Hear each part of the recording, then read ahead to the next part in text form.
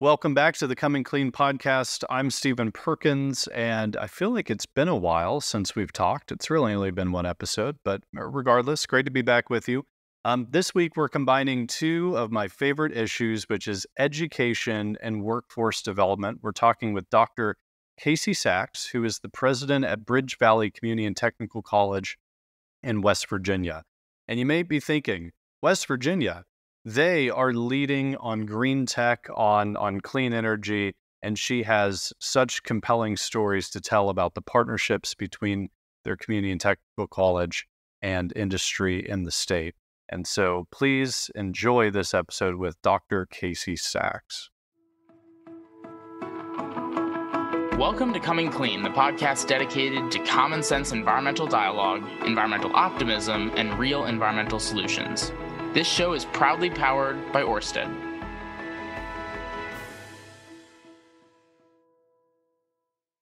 Dr. Casey Sacks, thanks so much for coming on the show. How are you? Such a pleasure. Nice to see you, Stephen. I'm great. How about you? I'm doing well. It's uh, it's a busy season, but it seems like every season is becoming busy now. So, a good problem to have. Um, I am really excited to have you on the show because uh, we're going to talk a lot about workforce development today, but I also think that the uh, the institution that you had as the president of Bridge Valley Community and Tech College in West Virginia um, is such an important institution. The type of uh, of, of, of school um, and the projects that you're working on, um, I think, are really important when we talk about uh, our transition to uh, a green tech and green energy future. Um, but before we get into the meat of it, I, I first want to hear about you. Um, tell us about your background, how you got to this point. Um, eh, you know, not asking for a resume dump, but you know, it kind of tell us what your experience have been uh, up into this point.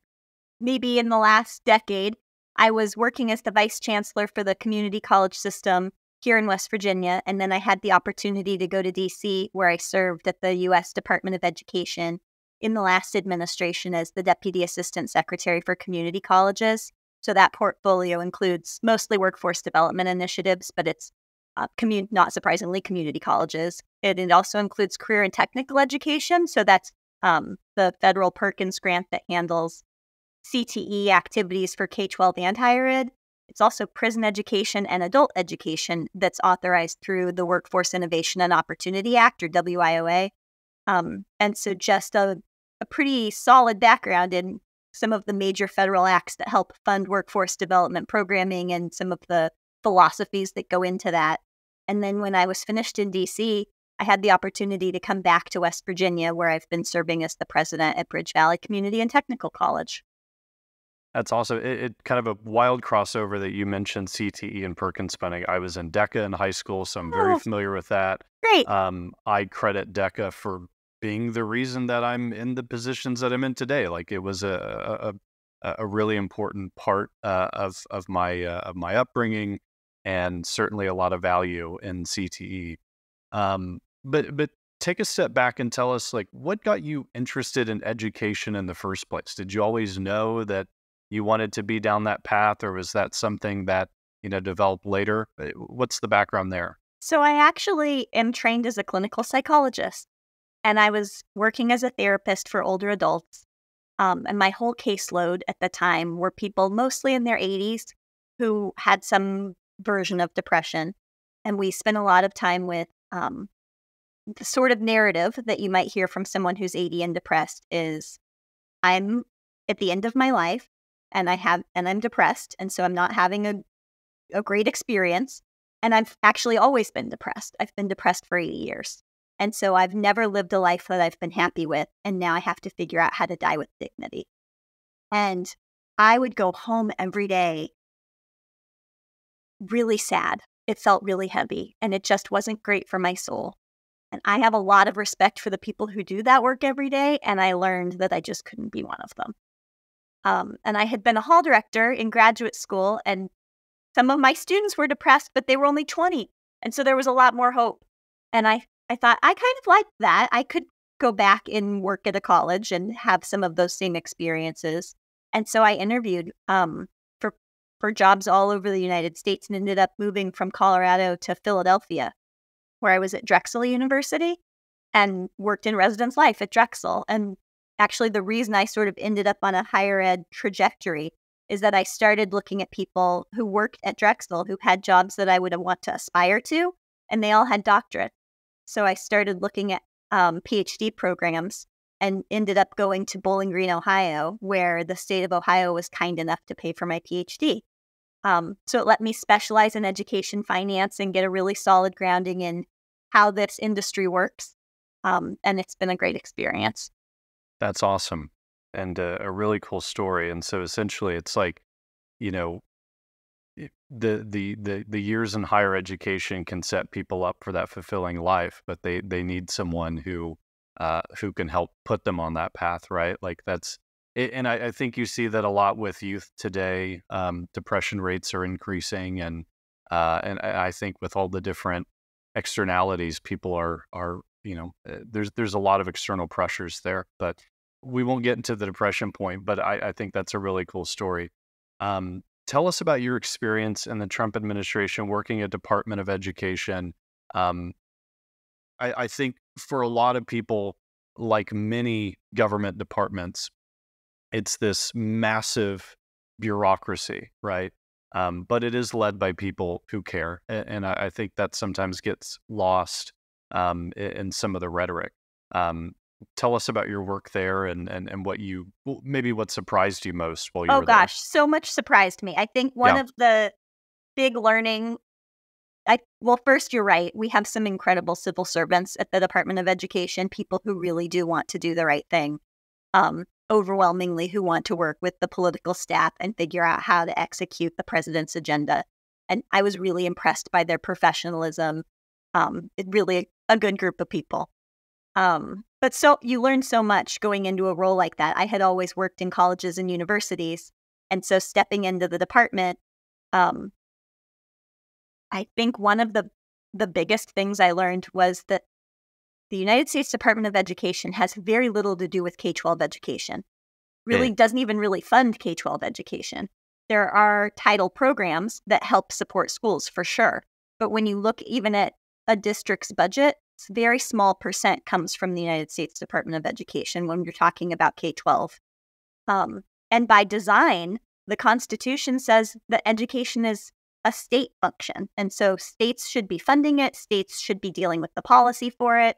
And and largely the United States Department of Education should not be involved with how states interact with their education departments.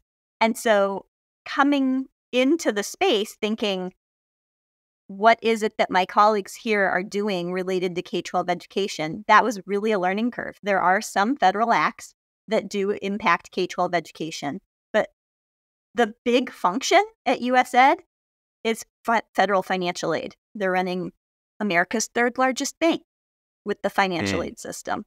You wow. might actually want someone who has a finance background to be the Secretary of Education.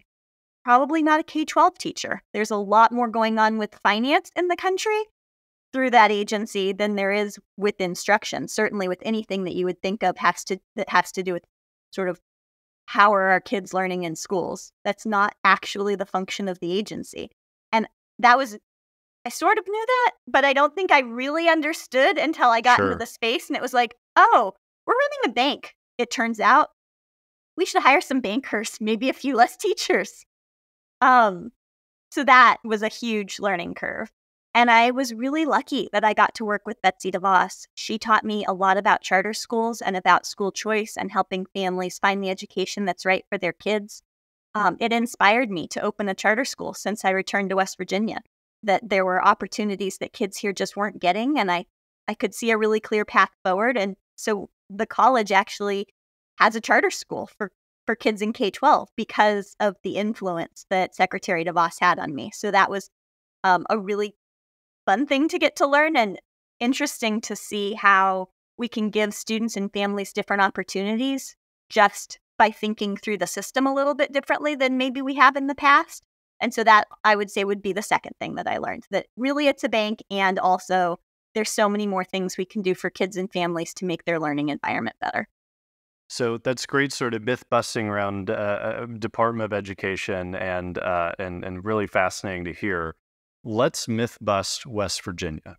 uh, because it is it is a state that I, I think uh, incredibly underrated, um, often overlooked, and also has a lot of mis uh, uh, mistruths circling mm-hmm. about it. Right, I, I think that a lot of people will look at the state as just this rural state with an undereducated population, not a lot of economic development going on.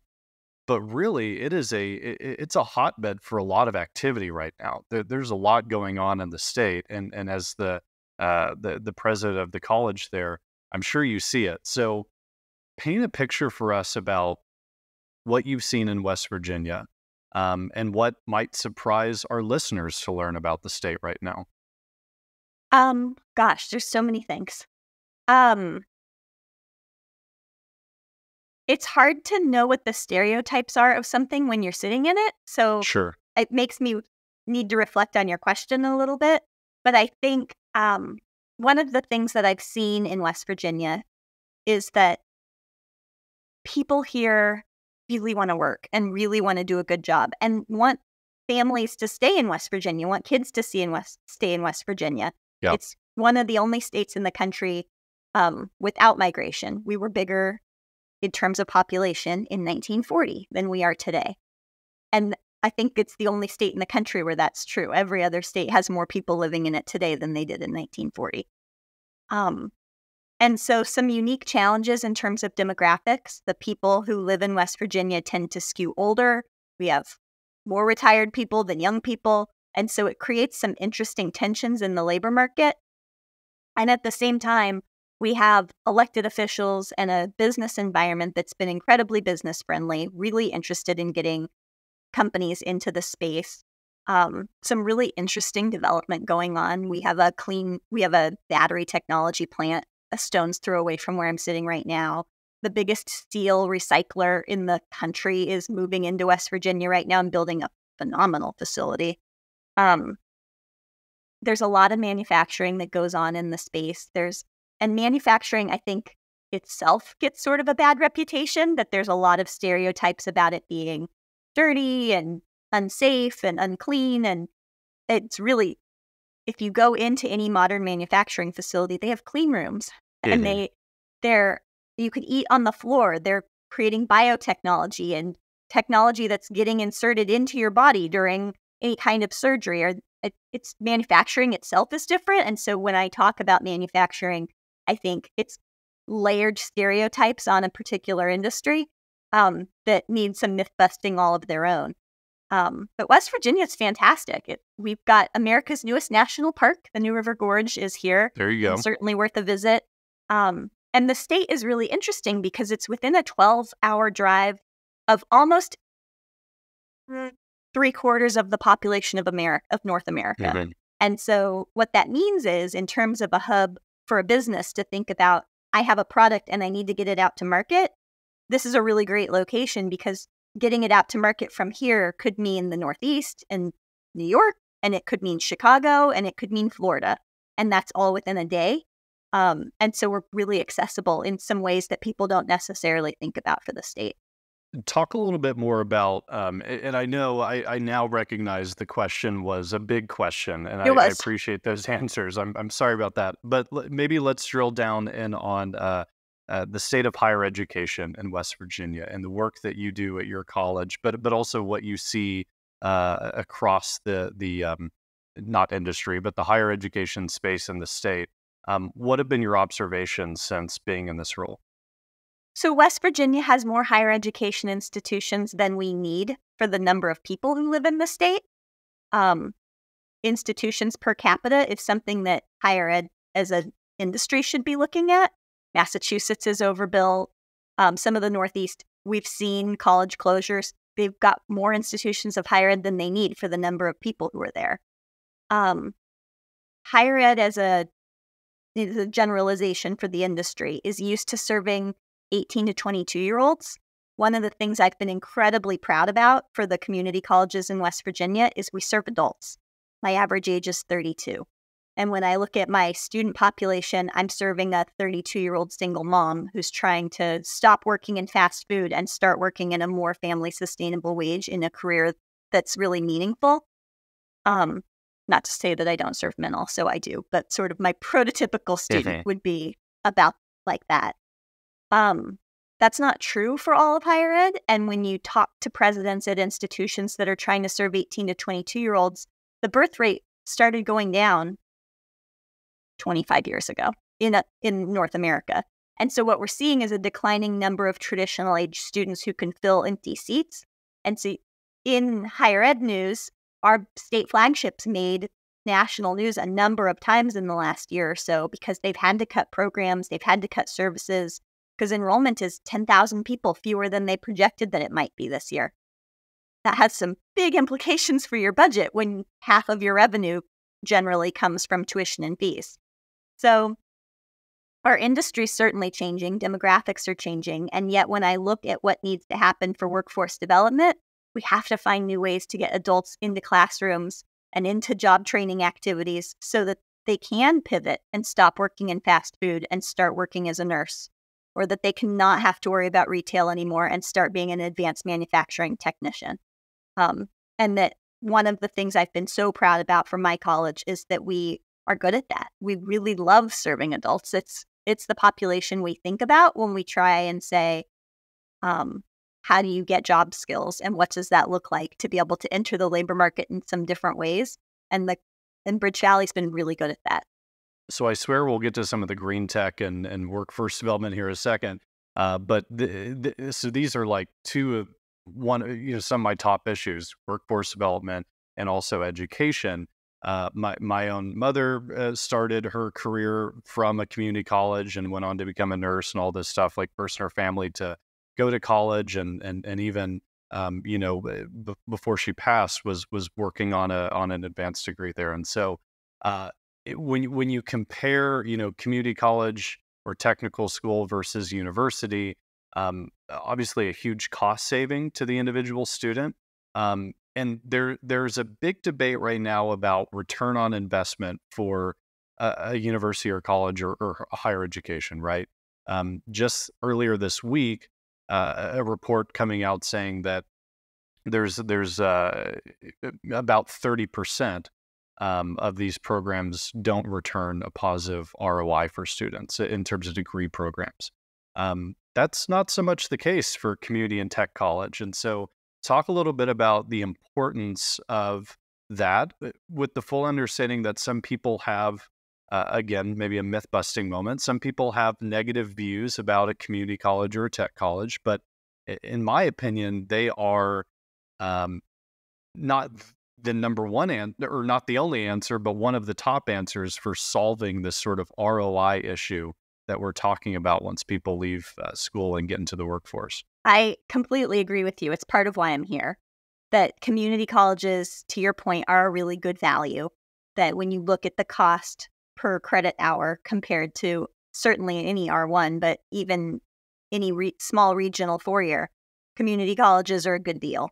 Um, and so uh, they the co- community colleges can fill a few functions that in lots of communities they're largely transfer institutions so they're trying to set students up to think maybe I do need a bachelor's degree for what jobs exist in this economy, but I could do two years of it at a less expensive price at a community college. So that's sort of one framework. But another that I think is far more important and not talked about enough is that workforce development function. That the good community colleges are really thinking about what jobs exist in our area and how do I make sure you're prepared for those jobs. So here in the greater Charleston area in West Virginia, manufacturing technology is a is a big job and it's a good job. We're talking about I mean every single one of my students who graduated last May got hired right away by a local company and the minimum I, they're all making more than $80,000 but I think their average was 92. Um Wow. and so it's a 2-year degree where students are stepping out immediately making really good money. Um and tons of potential for promotion from there. So Toyota Motor Manufacturing has a big facility not far from here, and they hire a lot of people out of that AMT program.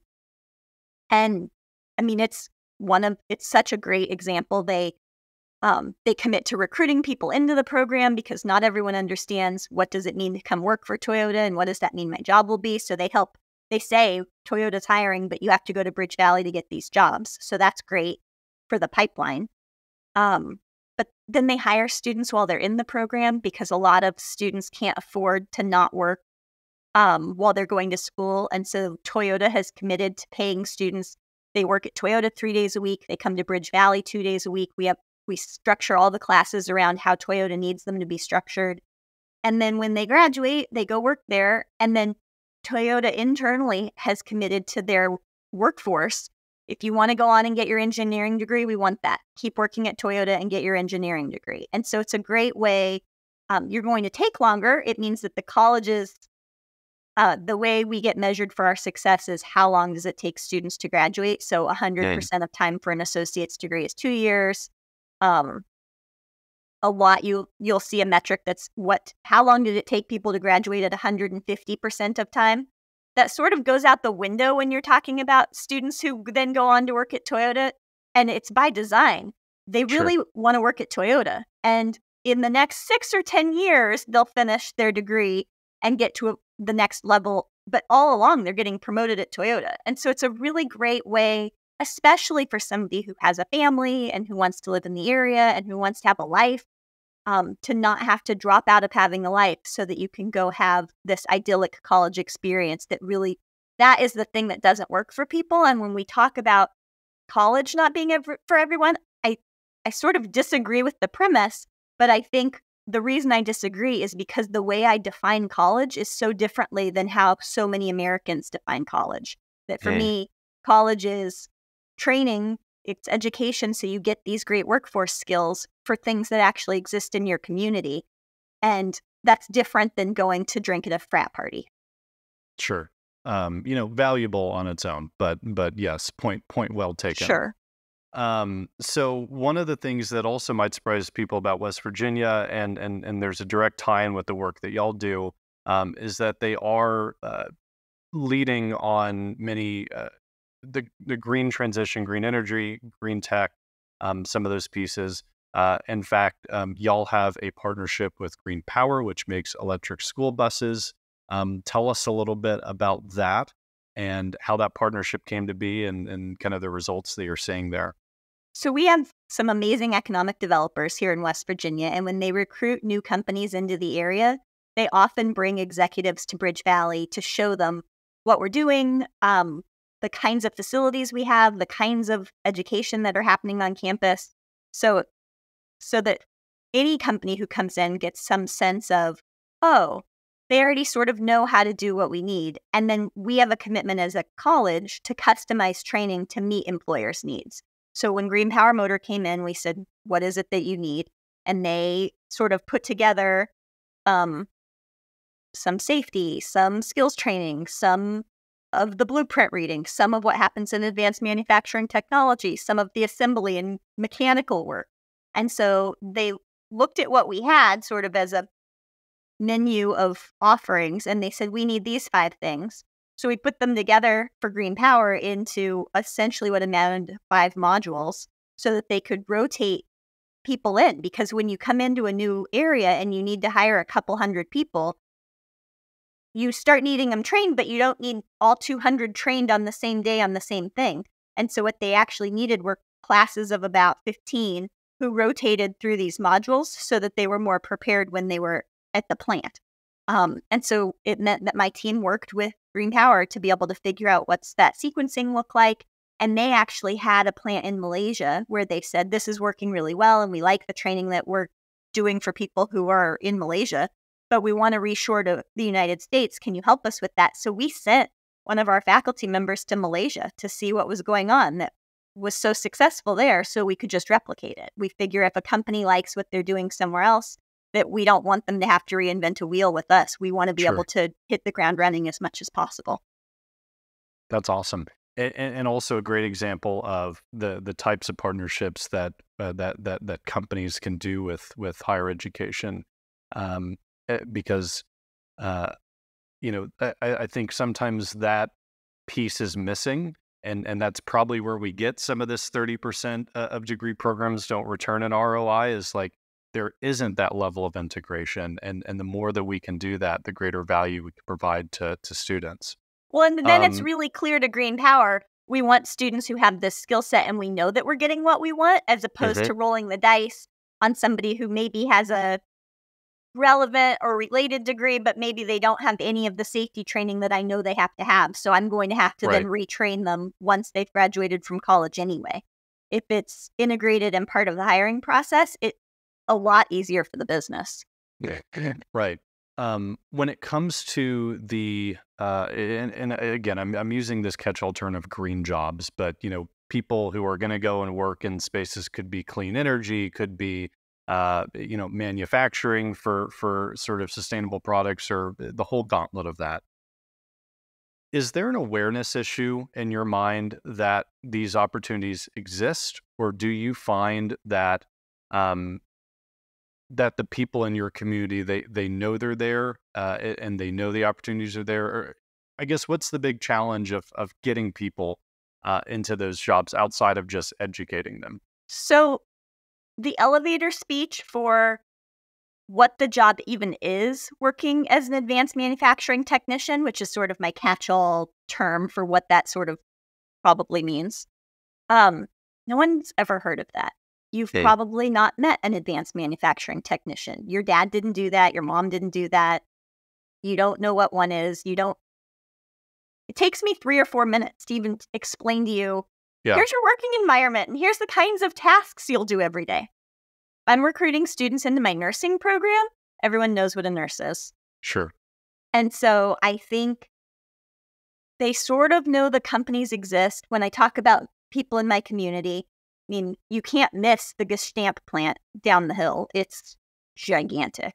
So you know it's there. You've driven past it. It's 80 million square feet. So you know it exists, but it's hard to think through what would I be doing if I worked there? And and that is for sure a challenge. It's one of the reasons why we appreciate the Toyota relationship so much and Nucor Steel. They've been wonderful. They go out to all of the local area schools and say, they spend the time with students to this is what the job is, here's how much we pay you, here's here's what we provide, here's all the benefits that we have. I mean, they're selling their industry as much as anything. And so once they find a student who's sort of mathematically and mechanically inclined, then it then the conversation pivots to you would be great for us. We'd love to hire you. You need some skills to be able to get here and here's how you get the skills. And so it's been a great way to help communicate what that pipeline can look like. But I often when I'm talking to adults, I just lead with wages. You know, you're really sick of making $20,000 a year and the way that I know that you can make $80,000 a year in the next 2 years is by going into manufacturing or nursing. Huge. Yeah.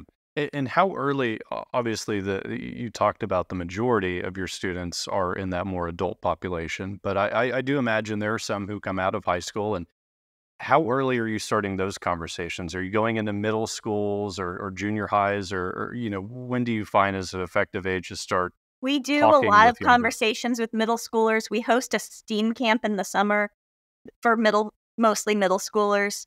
Um, some a, a few younger elementary school kids, but mostly middle school kids come to the STEAM camp, and it's really trying to get them exposed to what could careers look like, what's available in our community, and what I think's been so important, and what I see so many community colleges do well is focus on the workforce in their community. So there's a few in Texas that I can name who are really working a lot on biotech. And it's because there's big biotech companies in those areas. So the more you talk about what what could you do and stay here um, is an important piece of the puzzle. That if if I tell you all about biotech, that could be great, and I want that for the United States. But it also means that you're probably not gonna, going to stay in the Charleston area. And so my role as an institution is what are the jobs that exist in Charleston and how can I prepare you for those? Um, there are other institutions that talk about how do I get you to biotech, even if that's not here. Beautiful. Um, all interesting stuff. I'm sure a lot of people. It, it gives people some some food for thought here. I, I, I want to wrap up with some rapid fire questions, um, if that's all right with you. And and the first one that I always like to ask people, um, and you just stayed in a new national park in West Virginia, but what is what are your favorite national parks or just a favorite place in nature for you? Um, Well, so we do have the newest national park here, the New River Gorge, and it's phenomenal. Um, but locally, I think we have some really great state parks. Babcock is probably on the top of my list. Um, and then growing up in Colorado, any of the any of the Rocky Mountains, people in the Denver area do a thing called climbing 14ers. There's a lot of 14,000 foot mountains out there. Um, and I would actually advocate for a 13er any day because the, there's fewer people. And to me, it's not that important that the mountain was 14,000 feet. What I want to do is go on a hike, and I'd sure. rather not see anybody on my hike. So there you go. those would be up there. Beautiful.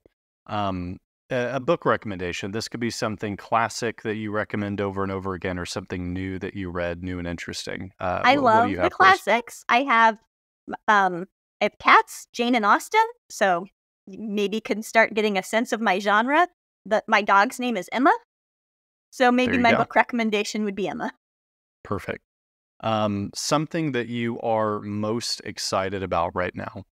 Oh my gosh, so much. So, um, I'm running for school board here because there's not a great alignment between our K 12 system and our higher ed system. And one of the reasons I opened a charter school was to help that alignment. And one of the things I've learned over the past few years is just how much more work could be done to help the community. So the election's Tuesday. I'm awfully excited about that. Well, that's awesome. Uh, I, I, I think so. I think this episode probably drops after that, uh, but that's exciting. Best of luck to you. Thank you. Um, and we'll uh, we'll pay attention to the results there. Um, if you could put one message out into the world, big billboard, big Super Bowl ad, whatever it is, what's the one message that you would want people to hear? Something about going to work. it really can change your family. It can change your community. Uh, it's it is there's so much dignity in work, and when I see families that come in that don't have access to that, or when I go into elementary schools and hear kids tell me that they just want to collect a check because that's what their mom does, it sort of breaks my heart. Okay. And so my billboard would be something about work and how important it is to be able to really cha- truly change your life.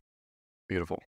Uh, and finally, any sort of action item for our audience, maybe something to to think about, something to do, or just a request that you might have of our audience please tell people in your families about community colleges. You have some real gems right in your area. And I think to your earlier point, people sometimes um, get caught in a trap of thinking that they need to go to the place where the football team is. And I would really challenge you, if, especially if you know what you want to do. Um, it's a really great way to get an education and to help people in your scope of influence understand that. Dr. Casey Sacks, thanks so much for coming on the show. Thank you so much for having me. It's such a pleasure. Thanks so much for tuning in again to the Coming Clean podcast. You can find ACC at ACC underscore national on Twitter and Instagram. You can find us on Facebook. You can also, if you really enjoy our work, you can go to donate.acc.eco slash coming clean and you could drop us a dollar or two if you feel inclined. In the meantime, a free way of supporting us is to like, subscribe, leave a rating for our podcast wherever you get your podcast. Um, and also, subscribing means that you'll never miss an episode. Until next time, take care. We'll talk soon. And before we jump, the Coming Clean podcast is grateful to be powered by Orsted, a wonderful company strengthening America's energy security with reliable and domestic clean energy. Through its integrated renewable energy solutions, Orsted is creating American jobs, investing in American communities, and driving American innovation, all while preserving our country's natural habitats. A clean energy future truly connects us all, and Orsted is helping lead the charge. To learn more, visit us.orsted.com.